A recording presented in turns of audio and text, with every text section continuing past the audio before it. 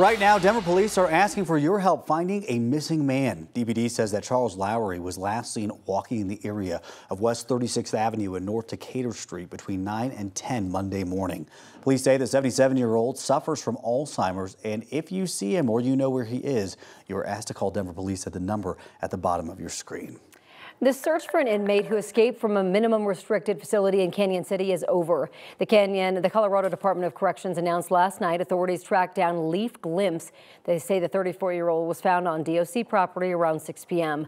Glimpse was serving an eight-year sentence for burglary when he escaped from the Arrowhead Correctional Center early Monday morning. Today, Denver Public Schools will hold one last in-person community meeting to discuss closures and consolidations. The district says that the changes are needed because of declining enrollment.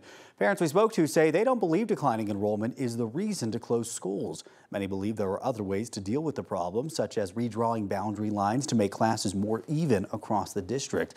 Tonight's meeting will take place at Montbello High School from 6 to 7. And if you can't make it to tonight's meeting, there will be another meeting next week, but it will be via Zoom. After that, Superintendent Dr. Alex Marrero is expected to present a list of schools to close and consolidate on November 7th. We're learning new details about the rescue from the Molly Kathleen gold mine rescue last week in Teller County. The Cripple Creek fire chief told our partner station in Colorado Springs that two tourists climbed up a ladder to alert workers what had happened after an equipment malfunction occurred on an elevator. The tour guide, Patrick Weir, died. Half of the two dozen tourists who were trapped were brought up almost immediately, but it took about eight hours for the other half of the group to be rescued. The chief says that was intentional.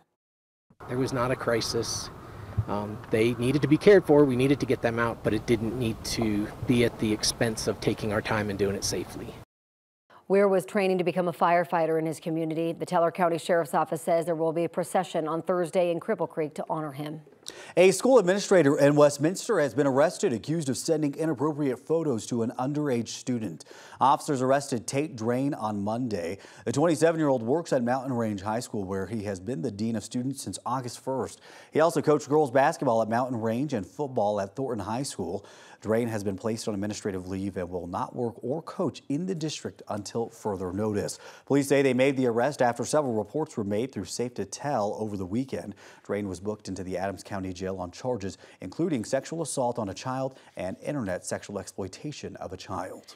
With just 21 days to go, presidential hopefuls are out on the campaign trail in full force, mobilizing voters to get out the vote. Former President Trump is rallying voters in Atlanta tonight, while Vice President Harris is set for a radio town hall in Detroit with host Charlemagne the God.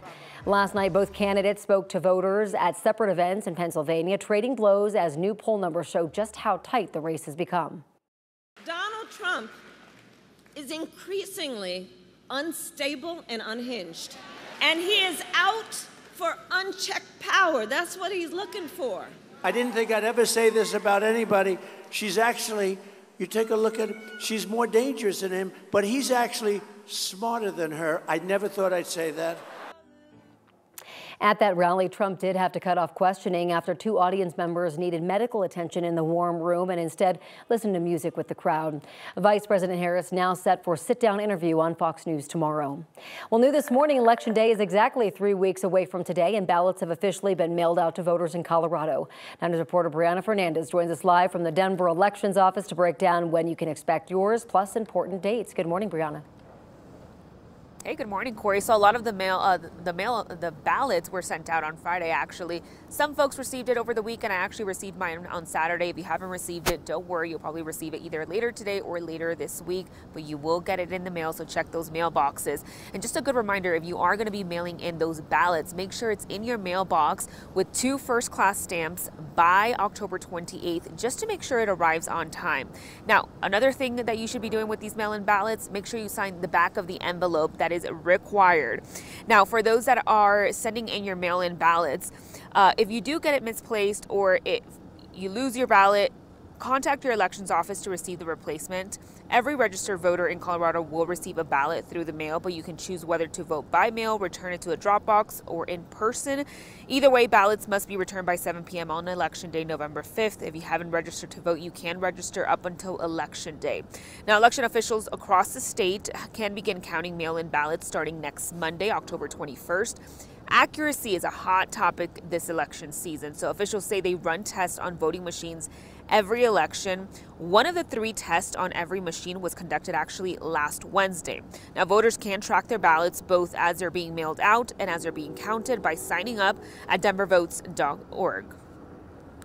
That's why it's so important to vote early as well, too. You vote early, we're, going to be able to do all that, uh, all that tabulating, everything else, all that processing, so that um, you uh, can can start uh, checking results beginning at seven o'clock and you know uh, and, and intervals thereafter. Uh, we value accuracy over speed. Now, two more tests will be conducted at these voting machines closer to the election and then after the election. Also, you probably have already received your Colorado Blue Book. If you haven't, you can also look that up at denvervotes.org. We actually have that link right now at the bottom of your screen. You can see that digitally, download it, or you can go to Denver Libraries. They'll have the Blue Book as well, or contact your election office. For now, I'm live here in Denver. Brianna Fernandez for 9 News. Brianna, thank you. Colorado ballots are hitting the mail, and our team is making it easy for you to register to vote, understand your ballot, and how to return it. Just text the word VOTE to 303-871-1491. We'll text you back a link to our full voter guide. And coming up starting at 6.30 and every half hour after, our legal expert Whitney Traylor and I broke down six of the big amendments and propositions to make them easy to understand what a yes vote means, what a no vote means, and what it costs you. The family of a former Impact Plastics employee is suing the company for wrongful death, alleging the company's negligence directly resulted in his death during Hurricane Helene. The lawsuit filed by Johnny Peterson's daughter alleges several employees lost their lives because of, quote, reckless and negligent conduct of Impact Plastics and its senior management. The lawsuit says that workers asked to leave when flood water started to rise, but the company told workers to move their cars to higher ground instead. By then, it was too late. Johnny Peterson was one of six employees up Impact Plastics believed to have died in the flooding. Sean Diddy Combs has even more allegations against him this morning. Six new lawsuits were filed anonymously by two women and four men.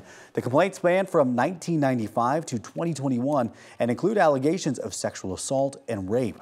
All of the incidents occurred in either New York City or the Hamptons, according to the suits. Sean Combs has denied all civil and criminal claims via his attorneys. And one thing to know about your weather for today, temperatures about 10 to 15 degrees cooler than they were yesterday. We are going to be in the low 70s today, warming back up into the upper 70s tomorrow. We are going to be a bit breezy as we head Thursday into Friday. We have a system moving in, and that is going to bring us more fall-like weather. Friday into Saturday, we are talking about showers across the plains, a snow-rain mix for the foothills, and a widespread snow for the mountains.